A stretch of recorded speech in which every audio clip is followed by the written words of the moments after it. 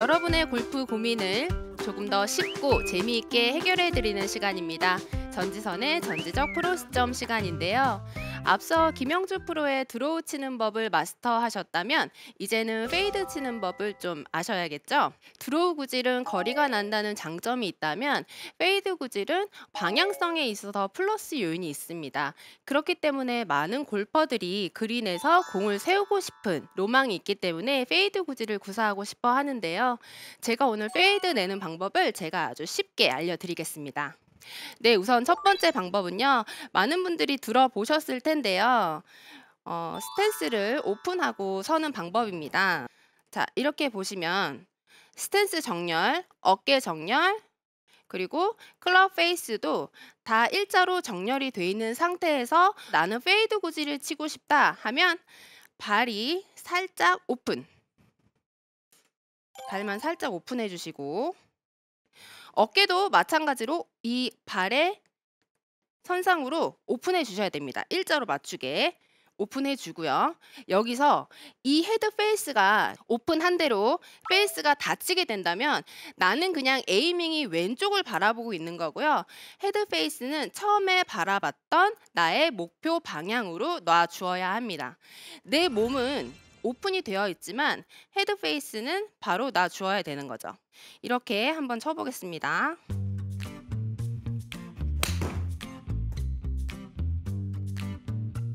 그런데 이제 여기서 나는 이렇게 오픈을 얼마만큼 해야 할 것인가를 모르는 분들 많이 있으시잖아요. 나는 5야드 페이드가 치고 싶거나 10야드 페이드가 치고 싶은데 얼마만큼 내 몸을 오픈해야 하는지 그런 기준이 명확하지 않는 분들이 굉장히 많습니다. 그런 기준은요. 저희가 알려드린다고 해서 나오는 게 아니에요. 다 개개인마다의 감이 다르기 때문에 연습을 해서 자신만의 감을 익히셔야 합니다. 두 번째 방법인데요. 두 번째 방법은 내가 아무리 오픈 스탠스를 서서 친다고 한들 골프는 멘탈 게임이라는 얘기 많이 들어보셨을 겁니다.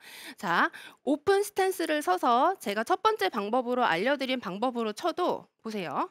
헤드를 왼쪽으로 닫아친다면 저도 왼쪽으로 가고 완전히 왼쪽으로 꺾이는 구질이 나오게 됩니다. 여기서 제가 알려드린 방법은요.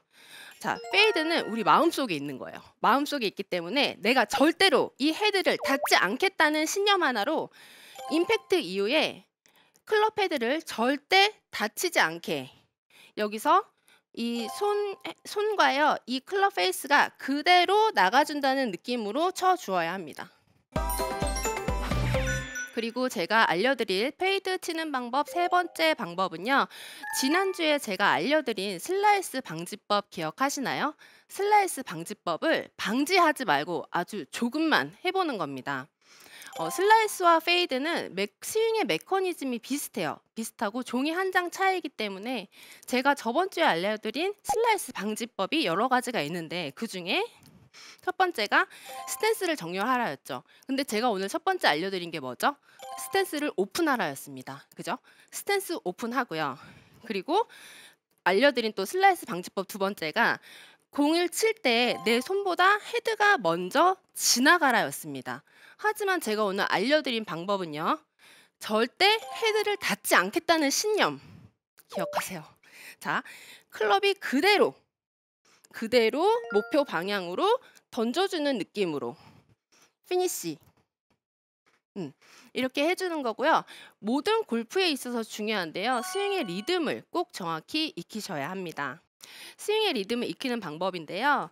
그 스윙의 리듬 익힐 때 우리가 코스에 나가서 공을 칠 때요. 스윙을 할 때는 2초의 시간도 걸리지 않아요. 그런데 셋업을 어떻게 해야 되고 어떻게 올려야 되고 어떻게 쳐야 되느냐 이거를 신경을 쓰면요. 이미 백스윙은 올라가고 있는데 스윙은 끝나버립니다. 그렇기 때문에 코스에 나가서는 절대 리듬만 신경 쓰셔야 돼요.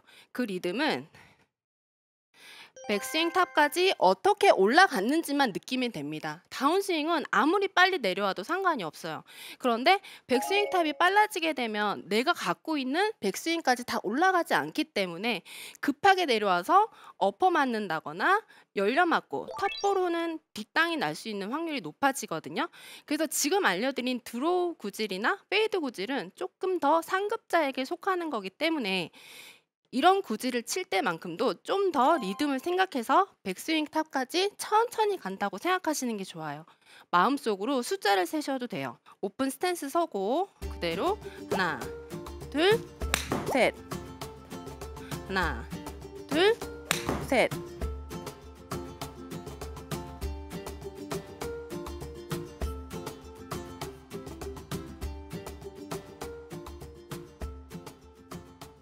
어, 드로우와 페이드 구질은 굉장히 어렵다고 생각하는데 어, 절대 어렵지 않습니다.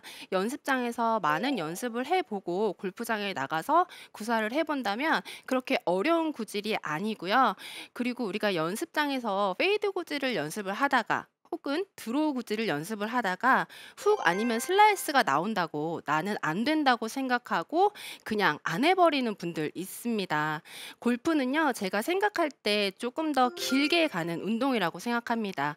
1년, 2년 치고 그만두는 운동이 아니기 때문에 오랜 친구라고 생각하시고 조금 더 인내심을 가지고 연습을 좀 많이 해보시면 페이드 구질, 드로우 구질 확실하게 구사할 수 있을 것 같습니다.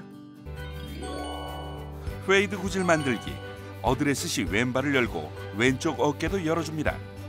페이스 앵글은 타깃을 향해 스퀘어로 맞춥니다.